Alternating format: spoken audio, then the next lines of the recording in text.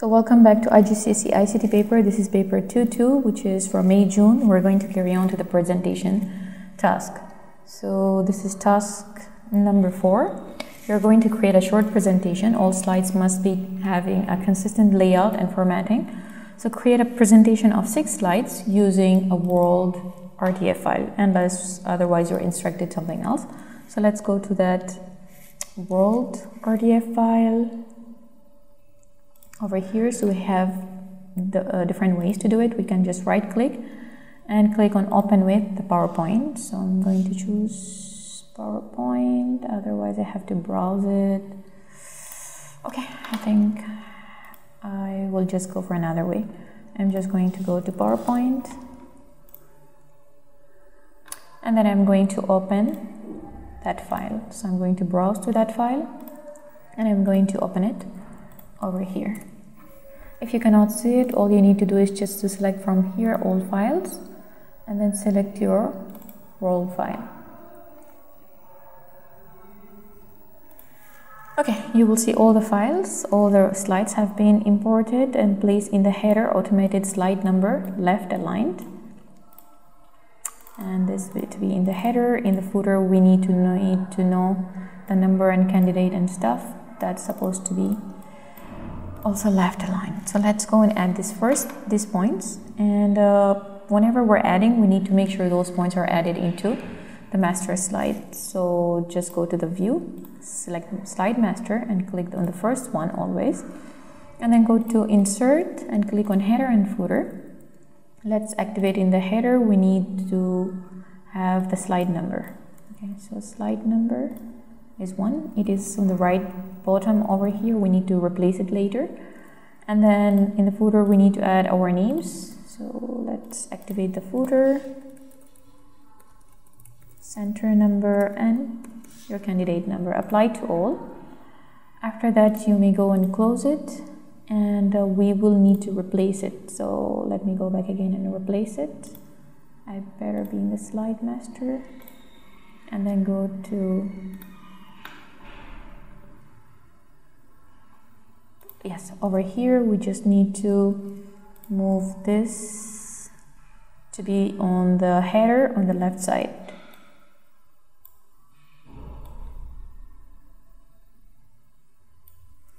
And then the next one in the footer which is supposed to be also in the left line. This is not going to appear anyway because it's not activated.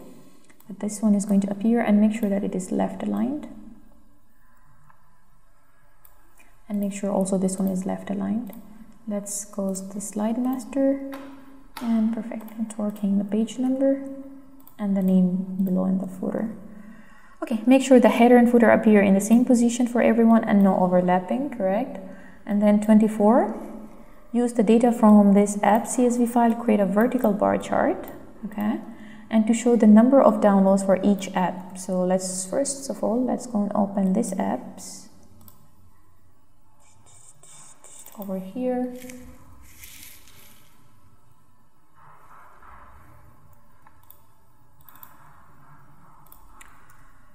Okay, we need to create a vertical and we need to show the number of downloads for each app.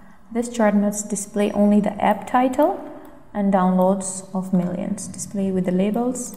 Okay, so we need to know the show the number of displays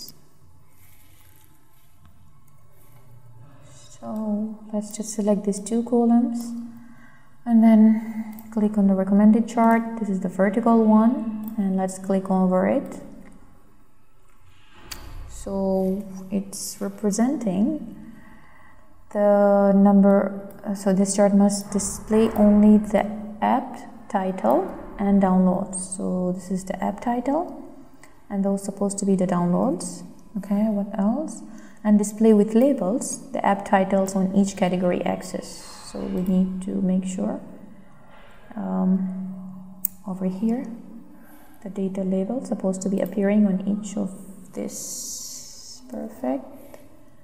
And then do not display the legend. There is no legend already here. And question number 25, label the chart as follows. So it needs to have top fitness app downloads for 2022 and the value axis title as million. You can see this is the category axis and this is the value axis. So let me go to the axis title and make sure this one is appearing and name it as millions. Those are the numbers in millions. I think we don't, I'm just going to remove the bold and then display only the data values along the top of each bar okay they're all over each bar and format the axis scale to display a minimum value of zero the axis scale which is this one which is the oh, value okay? Value scale or value axis as a minimum of 0 and maximum 15 and increment between each is 3 that's simply right click over here format axis. So we need to go to the minimum 0 and maximum 15 and then increments of 3 we better ignore the minor and let's check. So that's you can see here the increments are happening for each 3 points. After that 28 place the chart to the left of the bullets to the with this slide that name virtual cycling trends. Let me go to the virtual cycling trends over here. So we need to place it. We need to place the chart to the left of the bullet. So make this to the right. And take the chart copy it and paste it over here. You may resize it to looks a bit bigger and better when you print it out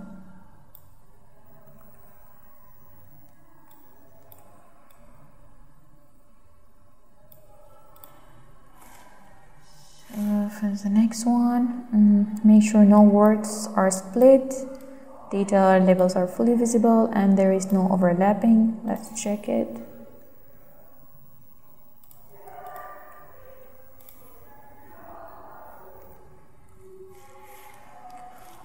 On the slide with the title virtual cycling trends create a square shape action button and position this at the top right corner. So we need to put it at the right corner over here. And format the action button so that it will click, it opens the document file name trends. So let's go to insert and let's try to create. Uh, do we need to make it square shaped? Okay, by clicking on shift on the keyboard, that will make sure that it is a square design. If I remove the shift, you can see it's not maintaining the values. So let's click on shift. Okay, after that, we need to make sure, do we need to uh, create a square shape and position it on the top right. Okay, so it's position and format it so that when it's click, it open the document. Okay, so right click, hyperlink and let's make sure that it is with the existing file and let's go to that specific file.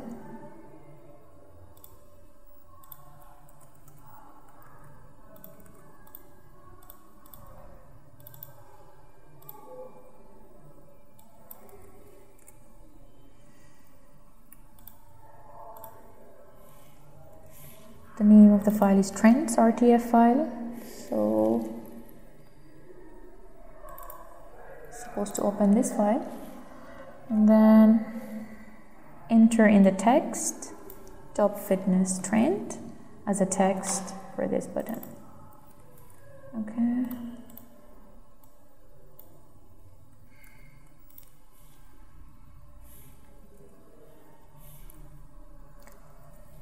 Let's check it right now.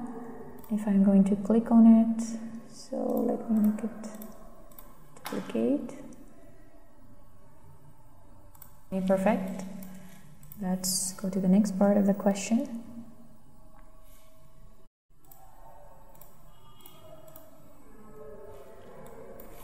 Okay, so let's go to place in your evidence document a screenshot showing the action button you link to the correct document. So that's,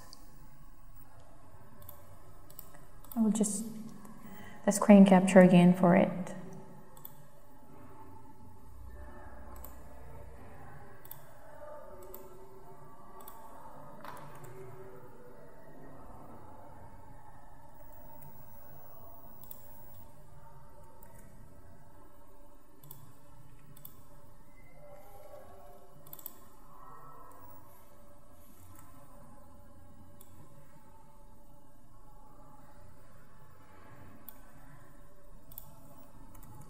Okay, and that's it. Let's go for the next point, which is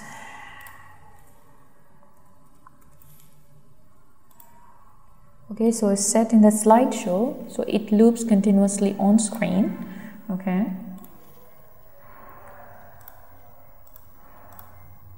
so over here in the setup slideshow you need to go and make sure that it is looping continuously until you press on the escape let's try this one as you can see this keep looping uh, until I press on escape. Place in the evidence document, screenshot that to show that you're making it as a continuous loop. So go back here, take a screen capture of this and place it in your evidence file. And for the next part is save the presentation, print all the slides in the handouts in the portrait orientation with three slides on the page. So, so go to the file here, print out, and make sure it is with the handout with three per page. There is no option of three per page, so you need to. So for that point, to add the slide handout in the portrait orientation with three slides to the page, we what is usually common that whenever we go to the printout we cannot find this three slides option so to add it you need to go back to the view in the handout master. You will get an option called slide per pages. You may go and click on three slides okay after you click on it you will get that option of having three slides per page so as you can see I selected it and then you're going to print out the whole slides and the next part of the question, it says print the slide with the virtual cycling trends, a full page in the landscape. So it is only that specific file, or virtual.